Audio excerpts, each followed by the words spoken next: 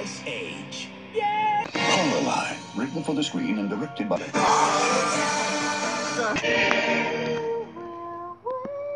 Prince of Egypt.